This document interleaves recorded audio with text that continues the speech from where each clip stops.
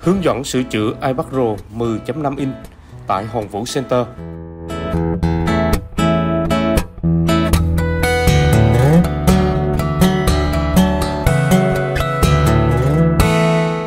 Hello 500 anh em Hôm nay Hồng Vũ sẽ thực hiện một cái video mới Video với tiêu đề là hướng dẫn sửa chữa iPad Pro 10.5 inch Thì iPad Pro 10.5 inch thì nó sẽ à, từ thời 2017, 2018, 19, 2020, 2021, 2022 Thì quy trình sửa chữa các dòng iPad này thì đầu tiên làm gì làm? Chúng ta cũng phải à, kiểm tra restore à, restore lại để nó báo lỗi gì? Sau khi restore nó xác định lỗi phần cứng thì chúng ta sẽ tháo rời ra. À, khi xác định lỗi phần cứng thì chúng ta mới tháo rời máy ra nha mọi người. Tháo thì chúng ta sẽ tháo à, uh, men tròn ra. Chúng ta đo đạc và kiểm tra thiết bị ngoại vi. Thì một số trường hợp đối với dòng iPad này nó cũng chạm thiết bị ngoại vi nó gây ra mất nguồn à, trong trường hợp này á, thì à, nó mất nguồn do nguyên nhân khác nhưng mình cũng chia sẻ kinh nghiệm đối với iPad Pro 10.5 á thì nó có thể chạm à, jack phone ở trên nè chạm thiết bị ngoại ghi vi rồi à, chạm các thiết bị khác các bạn phải kiểm tra cụm chui sạc trước rồi các bạn kiểm tra pin à, rồi các bạn tiến hành cuối cùng các bạn mới kiểm tra mainboard. Kiểm tra mainboard thì mình sẽ kiểm tra bằng phương pháp điện tử đo đạc. Trong trường hợp này mình đo đạc thì mình xác định ổ cứng nó tôi rồi nó tiêu đời ổ cứng rồi à, ổ cứng màu đen này nha mọi người. Bây giờ mình sẽ cài keo mình đọc ổ cứng và mình tiến hành mình sẽ thay ổ cứng cho iPad Pro 10.5 inch. À, quy trình là rất là chuyên nghiệp tại Hồng Vũ Center.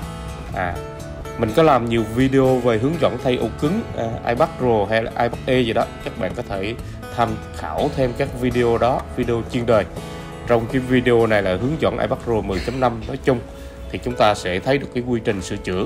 À, trong trường hợp này là mình sẽ thay ổ cứng iPad này à, các bạn thấy mình cạy keo cẩn thận từ từ. À, sau khi cạy keo này thì à, mình sẽ tiến hành mình đục ổ cứng thôi.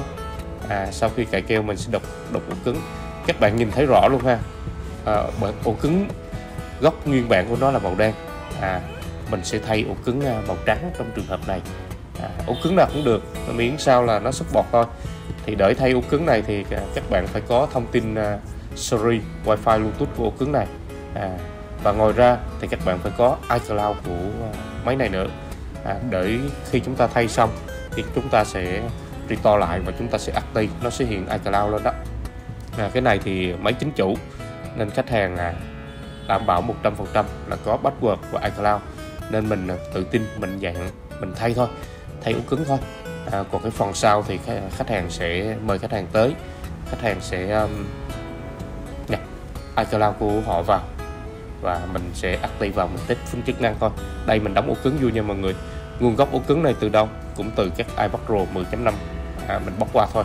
À, các máy đó ví dụ như chạm main à, iCloud hay là các vấn đề gì khác mà mình còn tận dụng được ổ cứng thì mình sẽ lấy ổ cứng mình thay cho các máy khác. À, đây mình đóng ổ cứng lên.